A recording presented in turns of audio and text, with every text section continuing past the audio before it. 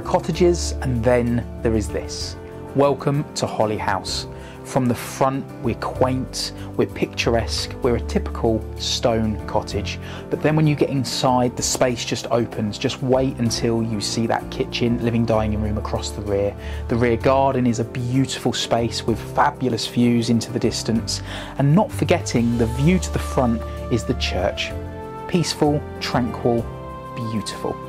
My name is James Humphrey Stone from The Avenue, and this is Holly House.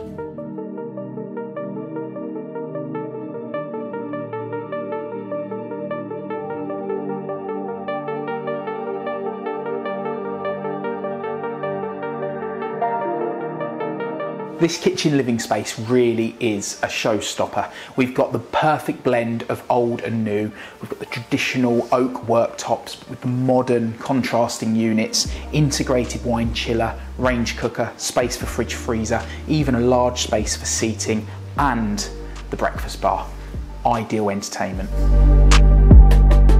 And right next door to that beautiful kitchen space is this living area. At the beginning, I was in what I would refer to as the snug. That for me is a real cozy, wintry room. And then for the summer, you've got this beautiful space with the sky lantern, bifolding doors opening onto that garden. I can just imagine socializing, entertaining friends and family, and this space being absolutely beautiful.